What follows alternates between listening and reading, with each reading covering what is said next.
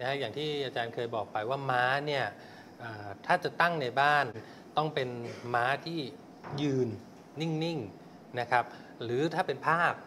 ก็อ่าต้องเป็นภาพที่ม้าที่อยู่ในลักษณะของสงบนิ่ง ก็คืออาจารย์บอกควบคุมได้ครับ ถ้าเป็นภาพม้าวิ่งม้าควบยกขานี่มันเสียหายยังไงฮะก็มันหมายถึงเอ่อความที่เสียหายในทางตกต่ำเสื่อมถอย เนื่องจากว่าเราไม่สามารถควบคุมได้ แต่ว่าม้าโดยทั่วไปเนี่ยนอกจากอาชาเหินแล้วเนี่ยนะครับเอ่อ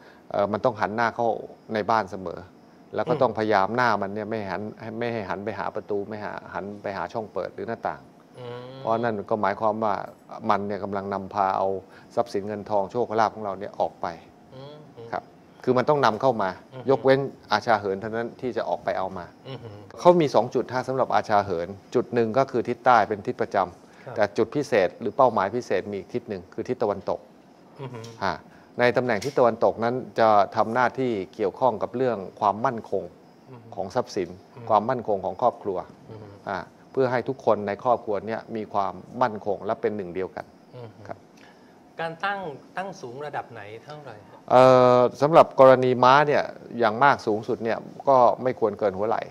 อืมอืมครับไม่ควรไม่ควรเกินนะฮะเพราะว่า